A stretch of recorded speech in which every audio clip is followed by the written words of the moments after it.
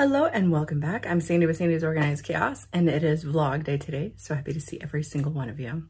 So we are going to be announcing the winner to the mica powders. I'll be doing that here in a little bit. I'll probably do that at the end because this morning I want to, I have a tumbler that I want to show you that I bought from one of you guys out there.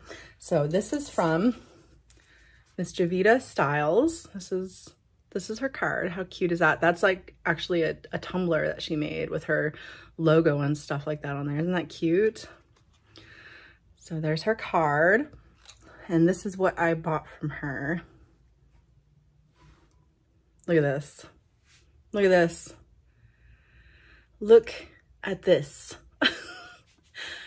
I just, it is just, I can't even.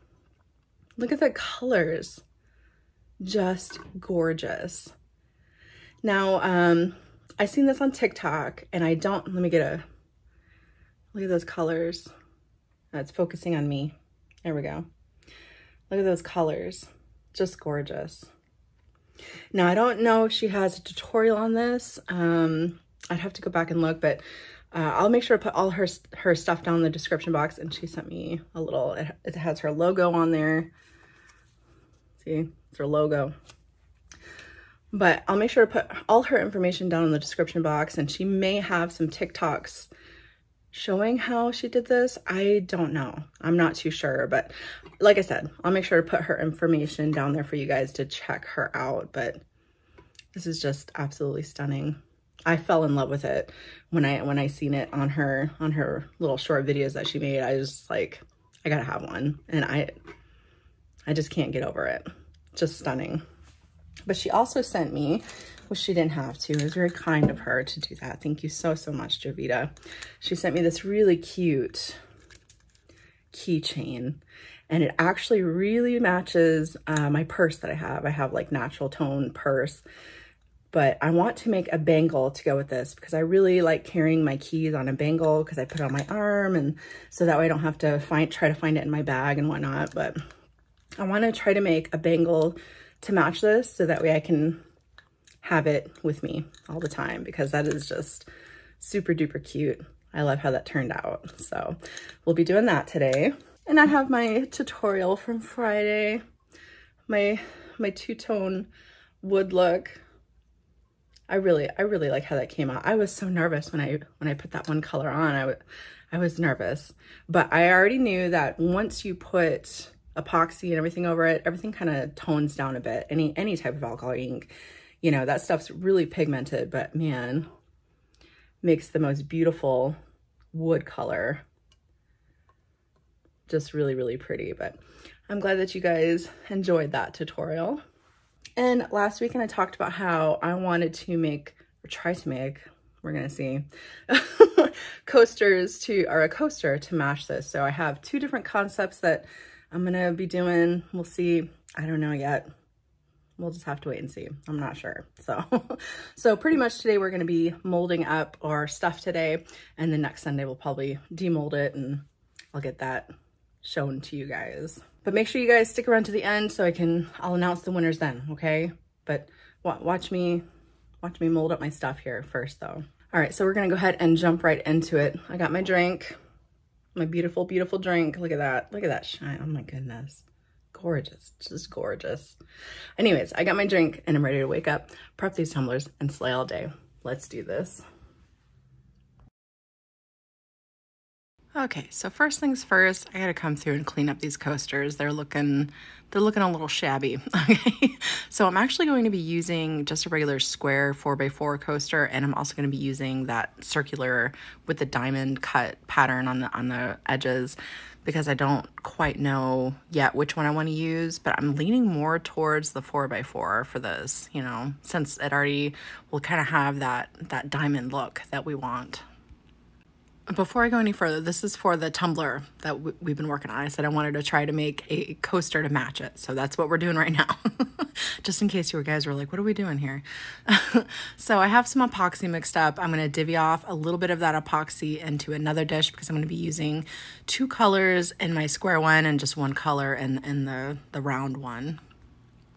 Now in the cup that has the most epoxy because uh, my white's going to be the majority of the, of the coloring here. I'm going to go ahead and put the matching glitter that I used for the tumbler right into that. And I, I believe I used Starlight for that.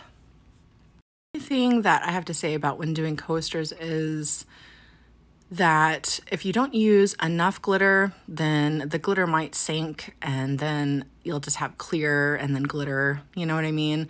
But if you use too much, then it's going to really thicken up your epoxy. So it's like you don't want to add too much, but you don't want to add not enough. So pretty much what I do is I like to let my epoxy kind of warm up a bit and that really helps out. It kind of keeps that, that glitter kind of stabilized and you know suspended inside of it to uh, help so that way you don't have any of those clear spaces so I, I, do like to let my epoxy warm a bit probably about 30 minutes or so when using regular set epoxy to the other cup that I have there with the one that doesn't have as much epoxy in it, I'm going to go ahead and add that blue glitter color that I used for the tumbler as well. So this is Lovebirds and I'm just going to put that in and mix that up really good. So like I said, I'm gonna go ahead and stir these glitters in. I'm gonna push it off to the side and let it sit for about 30 minutes. I'll stir it one more time, just very gently. And not only will this help the bubbles rise to the top, so you don't have to worry about all that, uh, it will also help that suspension of your glitter inside your epoxy. All right, let's move on to the fun stuff. Let's mold up our glitters here. So working with my my my 4x4 coaster here, I'm to go ahead and take my blue glitter and I'm just going to outline completely the the perimeter around the outside of my coaster with the blue because if you guys remember my my tumbler has like the jagged blue edges and that's kind of what I'm going for with this and hopefully it works out. Sorry if you can hear my children in the background. Uh, they're watching Bluey and every time the Bluey theme, theme song comes on they have to scream the song so sorry about that. I believe I had a question a little bit back. I remember reading it. Uh, they asked a, a question about uh, molds and how do you tell which side is the top side or, you know, what, what side will be the right side up, you know? For So for this particular mold, because of how it's shaped, I know that anything that's gets laid down first is going to be what's shown that will be the top side. So it'll have the uh, corners up or the sides up. It'll have like a pronounced sides to it. You know what I mean? But the circular one, you could use either side as the top or the bottom. It, it doesn't matter. It all depends on what you want to put into it. So usually I, I put everything face down into it. So it's like reverse as I work my way out making the coaster. But like when I do this one here, I'm actually going to be uh, making what ever the last layer is of epoxy, the, the top of, of my, my coaster. I hope that made sense. I don't know. I'll have to listen to that back. Oh my goodness. all right, anyways, maybe I'll, I'll uh, kind of go over that one more time next week after I demold all this, okay? Maybe it'll make more sense then. Okay. anyways, now that the blue is down, I'm going to go ahead and lay the white our, our white glitter epoxy mixture right over top. And as you can see, it's kind of dispersing over the blue. And so my hope is that it'll have those jagged edges just like the tumbler after we demold it. So I'm gonna go ahead and fill that up a bit.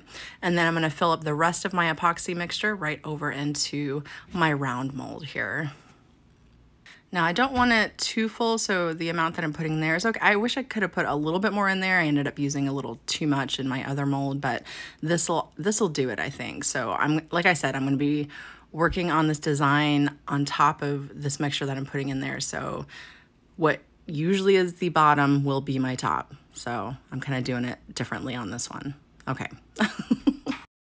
Now after I scrape out all the epoxy that's in that cup, because we want every last little drop, I'm gonna go ahead and take it and kind of swirl it around so that way I know that that epoxy is touching all sides of our coaster mold. Now I still had a little bit of that blue left in my cup and I'm gonna go ahead and pour that right around the perimeter one last time, just giving a little bit more of that blue coloring right around the edges of our coaster mold. And to help out any little air pockets that might got it stuck down in there as I was pouring everything in, I'm just gonna give it a little tap. I do hit it up really quickly with my with my heating source here with my with my little torch. You just want to be very careful when you do that. You don't want to hit up your mold. You could mess up your mold, but just very quick motions and that should be good. So now I'm just going to set it off on my flattest surface possible, which is over by my turner, and I'm going to let those cure and then we'll finish those up next weekend. All right, so let's do that bangle I was telling you guys about. I want it to match this beautiful keychain. So I'm just kind of focusing on some of the coloring. As you can see here, I don't know what the, it's not cheetah, but it's not quite leopard. My husband said it was uh, shepherd because it's a mix of leopard and, and cheetah. Anyways, so I'm just going to try to play off the colors that are in that for this bangle. So I'm going to take my UV resin because I want to do that that that shepherd look, the leopard cheetah print look. I'm going to say leopard. It looks to me more leopard. Anyways, I'm going to take a little bit of my UV resin and I'm going to color that a bit with just a brown alcohol ink. And I actually did about two drops of it down into my my UV resin, which I didn't show here. I did add another drop down into it. So I'm going to go ahead and mix that up really good but I wanted it kind of translucent, almost like the keychain. So that, like I said, that, that's what that's what I was playing off of here. So now I'm gonna go ahead and take my bangle mold and I have to open it up and I'm gonna use my little silicone tool to etch out my shapes here. So I'm just gonna take a little dab of this and I'm gonna do my little, my little leopard uh, spots here. And after lo every little grouping that I did, I probably did about three to four about at a time. I would come through with my UV light, hit it up really quick, and then close up the mold so that way it would form to the shape of my mold because I felt like if I would have heated up too much, or not heated up, but cured it too much with it open, then it wouldn't want to fold and, and, and curve with the, with the mold. So you want to make sure that you hit it up just a tad to kind of get it set so that way it doesn't run anywhere. And then go ahead and close your, your coaster or your, your coaster. Oh my goodness. go ahead and close your bangle mold so that way it can have that, that form to it. And you guys have any issues with your gloves? It's like, I can't find the, the right size gloves. Like I need kind of bigger gloves, but I have short fingers. So then I have to like really pull back the gloves. Anyways, they're always getting in my way. So I'm just going to continue on this motion where I kind of do this, this leopard print look, just kind of dabbing the UV resin and making sure that I, I get it all the way up around each corner uh, of my mold here.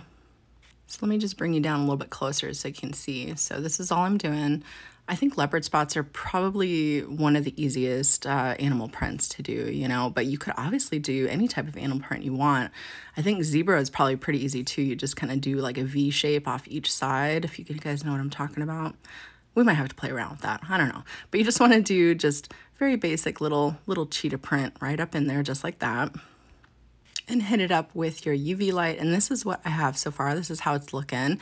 And I don't want to do the entire bangle. My idea is to do kind of half and half because I want half of it to be a mica powder mixture and I want the other half to be glitter. So this half with the leopard print is going to have the mica over top of it. I think that'd be a good mix for it. So, so that way the, that leopard is really pronounced in there. And then the other half will have the sparkly glitter.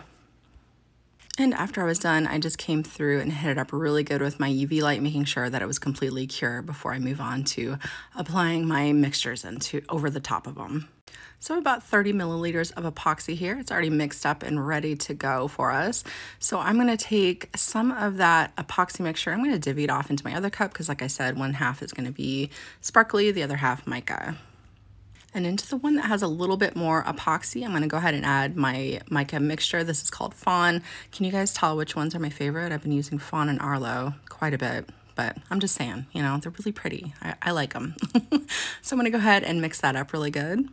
And into my other cup, I'm going to add a bit of coffee cake. This is really pretty champagne opal gold glitter. And of course, after I mix these up, I'm going to set those off to the side just so that way those bubbles rise to the top, which will really help out when you go to mold up this little bangle mold here. Now I am ready to go ahead and I'm going to apply my glitter first because like I said, I want more of the mica mixture uh, than I do of the glitter. So when I go to apply the mica mixture, it will kind of overlap over top of the gold and kind of push back on it. So that's why I went ahead and I added the glitter first. So I'm gonna do about halfway up with it. You see I'm just letting it kind of drip down over top of the slit that's in the top for the mold. I'm not too worried about if it gets on the mold itself because we're gonna come through and kind of clean it up a bit with our popsicle sticks to clean off any extra.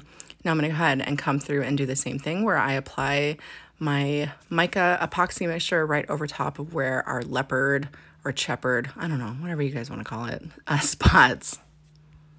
So after I get that all filled in, you'll see me come through with my popsicle stick and I'll start to kind of scrape the top and see if anywhere else needs to be filled in. So I just go back and forth with each color, filling in until it's not fully to the top of my mold. You don't want it fully to the top. And then I come through and I just scrape, making sure that I clean up those edges really good. And I'll show you guys how I like to finish up my bangles because I know a lot of people that'll do bangles and they don't understand how to finish them up. They're, that's super easy you know, it really is. And like I said, they're, they're a lot of fun to make too.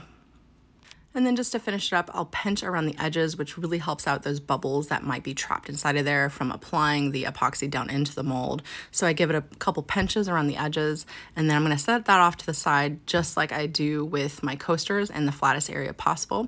And then we'll finish this up next week. Well, I'm really excited for that bangle. I cannot wait to see how that turns out. So we'll have to wait and see next next Sunday how that turns out, but I'm very excited for it. Hopefully it turns out the way I want it to. I don't know. We'll, we'll see. all right, so let's pick a winner for my, my whole set of mica powders, all six colors, okay? So let me go ahead. I got my computer sitting here. I'm gonna go ahead and get it's just a random name picker that I'm using. So I'm gonna go ahead and get that rolling here. Let's see. Okay, it's going. And the winner is Optshun Christina I. I, I think that's, I think that's what it is. Okay. All right, Optshun. Why don't you go ahead and email me at Sandy's Organized Chaos at gmail.com with your information and I'll get those shipped out to you. Now, there were so many people that responded last last weekend. I, I tried reading everything that I could and all that. There, were, there was a lot of you guys. There was like 245 comments and I feel like I should pick another winner. I don't know. What do you guys think? You're like, yes. so let's pick one more winner. Okay. All right, here we go. All right. And the next, or the last one, the next one is Kathryn Renee Stevens. So again, Kathryn an Optshun. Make sure you guys email me at sandysorganizedchaos at gmail.com. I got to go back through them and find their comments too from last week and uh, type it out in there too so they know as well. Well, I think that's going to do it for me today, guys. I hope you have an amazing rest of your day, an amazing rest of your week, and I will see you guys next time. Bye, guys.